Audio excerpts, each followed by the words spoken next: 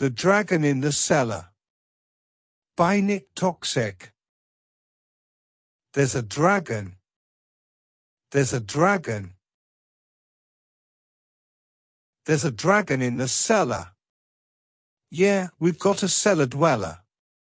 There's a dragon in the cellar. He's a cleanliness fanatic, takes his trousers and his jacket to the dragon in the attic. Who puts powder by the packet in a preset automatic with a rattle and a racket that's disturbing and dramatic. There's a dragon. There's a dragon. There's a dragon in the cellar. With a flame that's red and yellow. There's a dragon in the cellar.